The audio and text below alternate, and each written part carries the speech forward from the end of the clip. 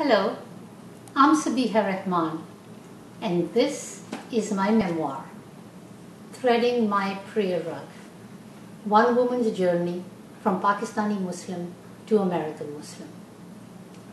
I was a young Pakistani bride when I came to the United States after a hurried arranged marriage.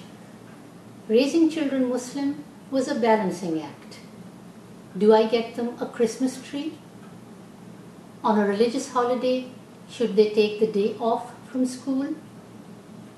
And what do I say to them when they hear voices on TV saying Muslims are terrorists? What can I do to change the image of Islam? I will reveal to you the heart of a Muslim woman. I will take you into the home of an American Muslim family my family.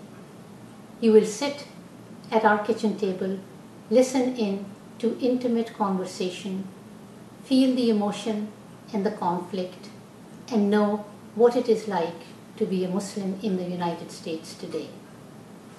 You will note that the heart and soul of a Muslim woman and a Muslim mother is like that of any other.